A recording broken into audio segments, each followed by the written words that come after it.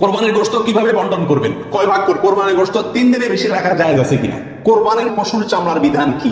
কোরবানির পশু অমুসলিমকে দেওয়া যাবে কিনা? কোরবানির গোস্ত শুকায় রাখা যায় আছে কিনা? কোরবানির পশুর কোনো অংশ বিক্রি করা যায় আছে কিনা? কোনো কারণে কোরবানি করতে না পারলে পশু কিনছেন, কিন্তু কোরবানি করতে পারেন না করবেন কি?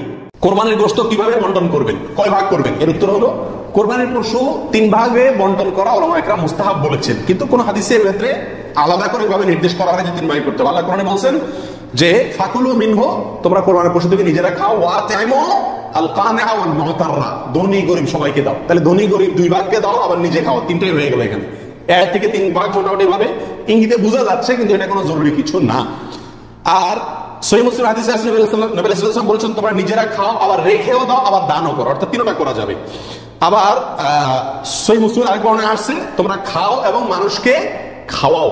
তাহলে বোঝা গেল, নিজে খাওয়া অন্যকে দান করা সবগুলাই উত্তম এই কোরবানির গোষ্ঠের ক্ষেত্রে। উনপঞ্চাশ নম্বর প্রশ্ন হলো, সমাজের ভাগ সমাজের ভাগ বলে একটা ভাগ প্রচলিত সেটা কাজায় আছে কিনা? অনেক এলাকাতে কোরবানি করার পরে সমাজের ভাগ উঠায় নেয় জোর করে। বা বলা ছাড়া, জোর করা লাগে না, এমনি সময় দেয়। এটা জায়জ আছে কিনা? উত্তর হলো, এটা উচিত না। এটা অন্যায়। কেন? কারণ আমরা পাঁচজন মিলে একটা গরুতে অংশগ্রহণ করলাম, দিলাম। এখন সমাজে এক ভাগ নিয়ে তাদের মতো গরিবকে দিল তারা? কিন্তু আমার হয়তো অন্য গরিব আছে, আত্মীয় স্বজন, আমি তাদেরকে দেবো। কিন্তু তারা তো তাদের মতো দিচ্ছে। এটা উচিত না। আমার গোষ্ঠটা আমি কি করব, না করব, সম্পূর্ণ আমাকে স্বাধীনতা দিয়েছে ইসলাম। বিধায় সেখানে এরকম অঘোষিত ভাবে চাঁদাবাজি বা হয়তো অনেকে সন্তুষ্ট হয়ে দেয় কিন্তু কারোর মনে অসন্তুষ্ট থাকতে পারে। যদি থাকে, তাহলে এটা জটিলতা দেখা দিবে। এই জন্য কি হবে না? এটা উচিত হবে না, যার যারটা তাকে ভাগ করতে দেওয়া উচিত এবং উত্তম। কোরবানের গোষ্ঠ তিন দিনে বেশি রাখা যায় আছে কিনা? উত্তর হলো, জায়েজ আছে। তিন দিনের বেশি রাখা যাবে না এমন কোনো কথা নাই। কোরবানের পশুর চামড়ার বিধান কি? উত্তর হলো, কোরবানের পশুর চামড়া এটা নিজে ব্যবহার করতে পারলে সেটা করা উচিত। চামড়া প্রসেস করে ব্যবহার করতে পারলে এটা করা উচিত। কোথাও কোথাও মানুষ খায় যদি খাইতে পারেন চামড়া পরিষ্কার করে, সেটাও আপনার জন্য ঠিক আছে। কিন্তু কোরবানির পশুর চামড়া বিক্রি করা হয় আমাদের দেশে বেশিরভাগ ক্ষেত্রে, এই কাজটা অনুত্তম কাজ, অনুচিত কাজ। কেন? কারণ কোরবানির গোস্ত এটাও বিক্রি করে আপনি টাকাটা দানে করে দিলেন, কিন্তু এটা উচিত না, বিক্রি করবেন না। আপনি হয় সরাসরি গোস্ত দিবেন না নিজে খাবেন। দুটার একটা। বিধায় কোরবানির পশুকে আপনার কোনোভাবেই এটা কোনো অংশকে বিক্রি করে, তারপর টাকাটা আপনি দানে করে দিলেন, কিন্তু বিক্রি করার দিকে না যাওয়াটাই উচিত। সরাসরি ওই জিনিসটা দান করলে সেটাই বেস্ট কোরবানের পশু অমুসলিমকে দেওয়া যাবে কিনা? উত্তর হলো, কোরবানের গোস্ত অমুসলিমকে খাওয়ানো যাবে। অসুবিধা নেই। শরীয়তে কোথাও নিষেধাজ্ঞা নাই মুসলিমকেও খাওয়ানো যাবে।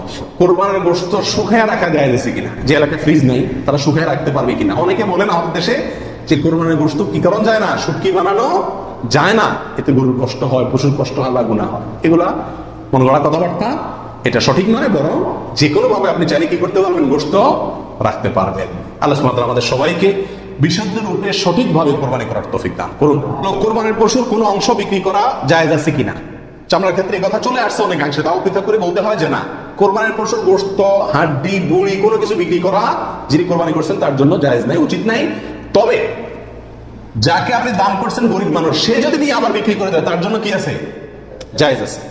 কোরবানির পশুর চর্বি অথবা হাড্ডি, এগুলো বিক্রি করার একটা প্রথা আছে আমাদের সেটা করা যাবে না। কোরবানির ঈদের আমি খেয়াল করছি ভেনালারা বাইর হয়, অতিরিক্ত চর্বিগুলো আছে, এগুলো কেজি দরে কিনে, হাড্ডি কিনে, এগুলোকে বিভিন্ন কাজে ব্যবহার করা হয়। তো আমাদের জন্য এগুলো বিক্রি করা, বিক্রি করে নিজে খাওয়ার তো প্রশ্নই ওঠে না, যদি বিক্রি করে ফেলেন, তাহলে এটা দান করে দিতে হবে গরিবকে। আর বিক্রি না করে ওইটা হয়, এমনি রাস্তায় কাউকে দিয়ে দিবেন, আর না হলে নিজে খাবেন, ব্যবহার করবেন, বিক্রি করবেন না। তো কোনো কারণে কোরবানি করতে না পারলে, পশু কিনছেন কিন্তু কোরবানি করতে পারেন না করবেন কি? উত্তর হলো যে পরবর্তীতে কি করে দিবেন আপনি? সদকা করে দিবেন। মৃত ব্যক্তির নামে কোরবানির বিধান কি? একটু আগে যেটা বললাম, অর্থাৎ শুধু মৃত ব্যক্তির নামে আলাদা কোরবানি দেওয়া যায় অনেক ওলামাইকরাম বলেন। কিন্তু অনেক ওলামাইকরাম বলেন যারা মৃত ব্যক্তির সাথে জীবিত ব্যক্তিকে, জীবিত ব্যক্তির সাথে মৃত ব্যক্তিকে যোগ করে দেওয়া যাবে। আপনি একটা ছাগল দিলেন বলে যেটা আল্লাহ আমার এবং আমার মৃত বাবার পক্ষ থেকে। এভাবে করা যাবে। আর নবী আলাইসালাম একটি ছাগল তার পুরো উম্মতের পক্ষ থেকে দিয়েছেন। জীবিত, মৃত, সবাই মোটামুটি এর ভিতরে সামিল।